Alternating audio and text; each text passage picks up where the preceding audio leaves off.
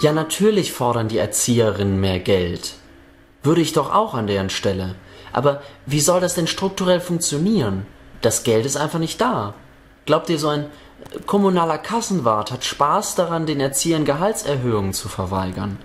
Bei dem Thema kann man doch wirklich jeden fragen. Ich habe bisher niemanden gehört, der mir erzählt hätte, Erzieherinnen würden genug verdienen. Es ist auch allen klar, dass die einen wichtigen Job machen und Verantwortung tragen. Aber wer bezahlt das? Irgendwie scheint sich niemand zu trauen, das Problem endlich konsequenter anzugehen. Es gäbe nämlich eine Lösung. Die Kinderbetreuung dürfte einfach nicht mehr länger in den Händen der Kommunen liegen. Sie dürfte überhaupt nicht mehr in staatlicher Hand liegen. Wir haben hier in Deutschland vor Jahren den Fehler gemacht, den Arbeitsmarkt zu liberalisieren, ohne bei den sozialen Einrichtungen ähnlich konsequent zu sein. Auf einem freien Markt wäre das Problem der Gehälter für Erzieher längst gelöst. Einfaches Prinzip von Angebot und Nachfrage. Das Angebot an Kindergärten ist begrenzt, die Nachfrage steigt bereits seit Jahren, die Kunden, also in diesem Fall die Eltern, konkurrieren um freie Betreuungsplätze und zack, würden auf einem freien Markt automatisch die Preise für die Betreuung steigen. Ja, und im Anschluss könnten höhere Gehälter für Erzieherinnen abgezwackt werden. So leicht wäre das.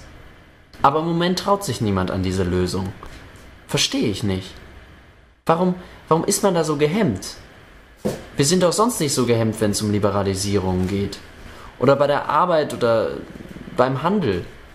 Wir haben viel mehr Probleme damit, wenn ein kärglicher Mindestlohn eingeführt werden soll, für den es auch noch massenhaft Ausnahmen gibt.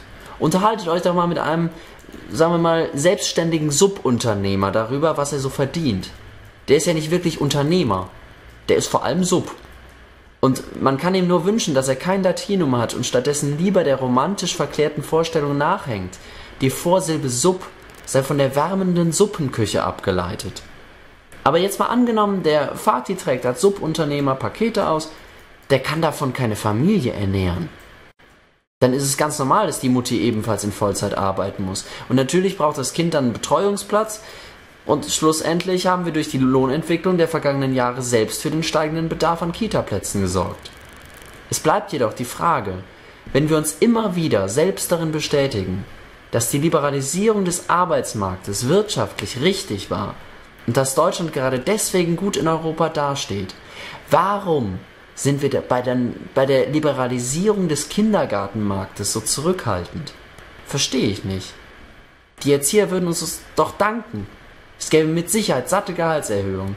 Und wenn jetzt der Einwand kommt, manche Familien könnten sich die Betreuungsplätze auf einem liberalisierten Kindergartenmarkt nicht mehr leisten, ja, dann kann man konsequenterweise nur sagen, das ist dann eben so. Es muss jeder Mensch selbst wissen, ob er unbedingt Kinder großziehen will. Für eine solche Entscheidung ist doch nicht die Gesellschaft verantwortlich. Wir leben in einem freien Land, in dem sich jeder selbst überlegen darf, wie er mit den Sachzwängen am besten klarkommt. Das ändert selbstverständlich nichts daran, dass ein Subunternehmer mit Latinum das Gefühl bekommt, der exzessive Gebrauch des Wortes liberal sei in solchen Zusammenhängen zynisch. Erst recht, wenn es nicht bloß um Arbeit und Löhne geht, sondern um Kinder und die Zukunft unserer Gesellschaft. Natürlich täte eine Liberalisierung des Kindergartenmarktes vielen Menschen weh. Keine Frage. Aber es wäre mit Sicherheit nicht so schmerzhaft wie das offene Eingeständnis, dass wir politisch nicht bereit waren und sind, die Leistungen von Erzieherinnen und Erziehern, die an einer Schlüsselstelle der gesellschaftlichen Entwicklung sitzen, so anzuerkennen und zu würdigen, wie es diese Menschen verdienten.